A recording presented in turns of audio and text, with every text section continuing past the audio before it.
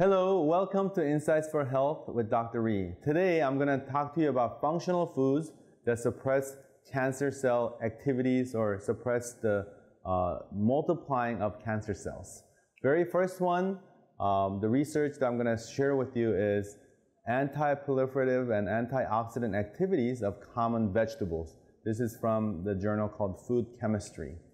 Uh, lung cancer uh, can be suppressed by, uh, here we have a box of most common box that represents the most common functional food items that actually suppress the cancer cell activity. So very first one is garlic, leek, onions, Brussels sprouts, kale, cabbage, and so forth. Uh, for breast cancer is the next one. Uh, actually, we have a little more choice here. Um, garlic, leek, onion, Brussels sprouts, cauliflower, cabbage, and broccoli, radish, kale, yellow onion, and then so on and so forth. And so if you actually have family history of breast cancer, these are the things that you want to be a little bit more attentive to. Next one is prostate cancer, and we have a wider range of uh, vegetables that we can choose from that actually suppress uh, cancer cell, prostate cancer cell proliferation or multiplying. And once again, it's garlic, Brussels sprouts, all the way to we have um, even potatoes, eggplant. Uh, next one is stomach cancer, and this is uh, very common among Asians uh, because they tend to have H. pylori infection positive plus very, very salty diet. And if you actually look at this, uh, once again, garlic is at the, uh, at the forefront, and then we have leek and onions and Brussels sprouts and so on and so forth.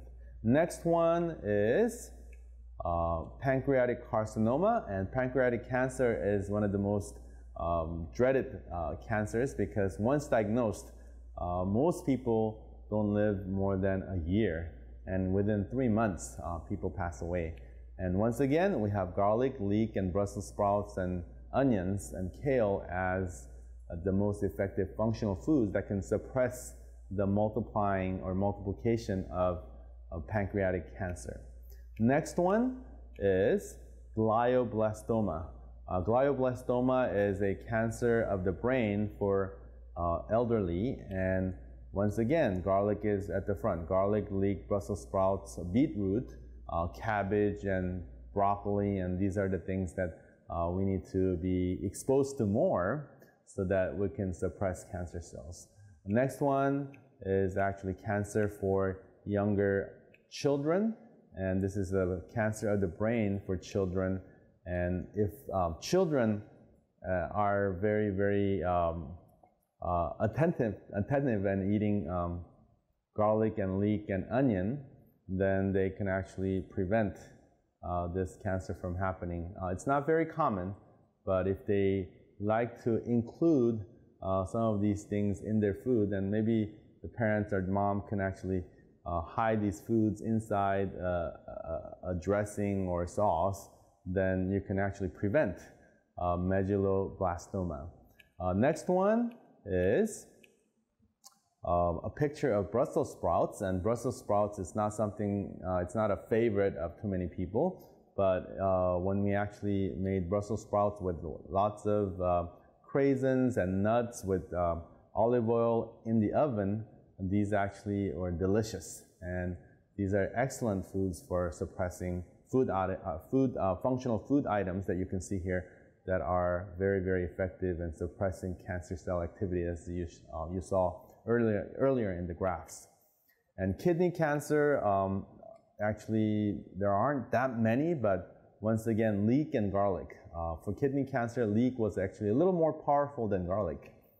Um, and as you see some of these um, slides, um, if you look at this, this is basically the top uh, functional foods that kill cancer cells. We have garlic, Brussels sprouts, leek, onions, uh, purple cabbage, broccoli, and a beet. There's a beet spread on top of the bread here, with along with some avocados, and uh, I think we have some tomatoes there too. So these are the things that you can include in your diet to suppress cancer cells. And it's a good news that we don't have to necessarily take um, chemical that's like a strong uh, chemotherapeutic agent that actually has a lot of side effects. This is everyday lifestyle that can actually suppress cancer cells, not in a huge amount, but uh, every little actually uh, makes a big difference if you do this every single day, right? Um, so garlic is, uh, seems to be the champion of uh, a lot of these cancers, champion functional foods that suppress cancer cells. And uh, what's actually activated in garlic is uh, allicin, and allicin becomes allicin, and uh, it's activated by the enzyme called alliinase, and alliinase actually is activated when garlic is crushed and exposed to air. So if you crush it and then it get it exposed to air for about 10 minutes, then uh, most of the crushed allicin actually becomes allicin, which is the uh, smelly anti-cancer agent in garlic. And so this is what makes garlic really, really strong uh, functional food uh, against cancer. But a lot of times people have hard time with the smell. So uh, once allicin is created, allicin becomes very heat stable, so you can actually cook it. And when you cook it, uh, you actually make a lot of S-allylcysteine, and this one does not have smell, and it still has anti-cancer activity. So if you want to cook a garlic from scratch without crushing it, then you still make S-allylcysteine, but if you crush it, you'll make some of, some of uh, allicin and some into S-allylcysteine. So you can actually uh, eat, eat it either way. But if you want no smell, uh, you probably want to probably cook it or get it fermented, and you still have uh, quite a bit of the benefit from garlic. So crushing garlic is a very, very important part of your uh, anti-cancer lifestyle. But if you don't want to crush it and make it into a very smelly anti-cancer agent, you can actually cook it, but you can still, uh, without the smell, make the anti-cancer agent as well. So you can do either or or both. So this is how you eat garlic. Now, uh, in Chinese character, um, Chinese character um, has a lot of uh, wisdom that we can learn from, and this uh, Chinese character means law. And law is a very harsh and hard term that we don't want to really um, uh, look at too much. But if you look at the meaning of law in Chinese character, then it's much easier to follow. Uh, it actually means uh, flowing like water. So this part is actually means water, and this part means to go. So literally means to go like water, but uh, since water flows when it goes, I just kind of translate it to flowing like water. Um, and so when you actually keep the principle, the law of health, um, as we flow in our life, right? Flow is actually a very specific term for happiness. Um, and if you're able to flow instead of um, uh, constantly just forcing ourselves to go, we are actually much happier in our progress in life or in our fighting with um, cancer.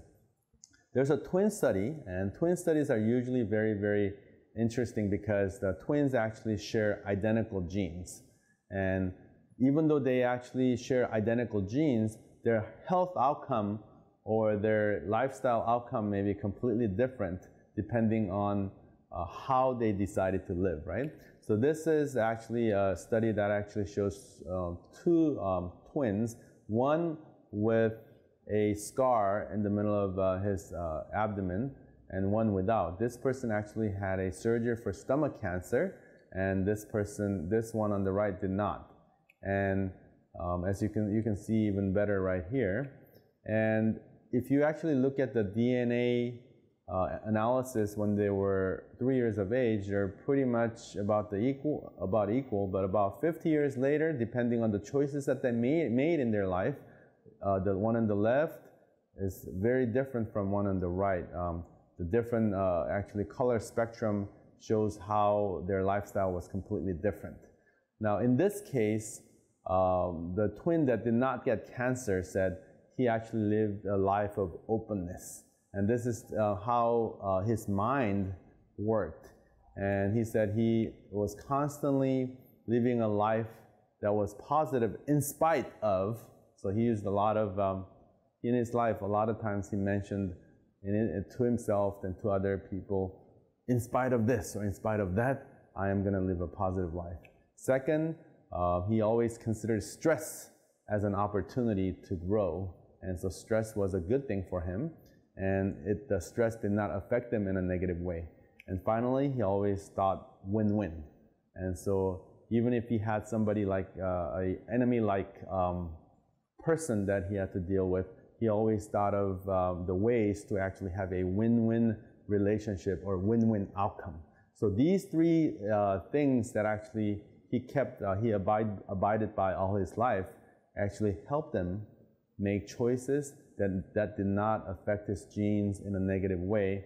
And we cannot prove that this is exactly why he did not get stomach cancer, but most likely he had more resilience in fighting cancer. So this is something that we can learn from in this twin study. So I would like to actually uh, uh, have you think about the types of foods. Um, of course, garlic was number one, but garlic is not the only thing. There's a lot of rainbow colored foods that actually can fight and suppress cancer cells. And there are positive mindfulness, the thought processes that can actually prevent you from getting chronic diseases like cancer. So until next time, eat, eat well and think positive.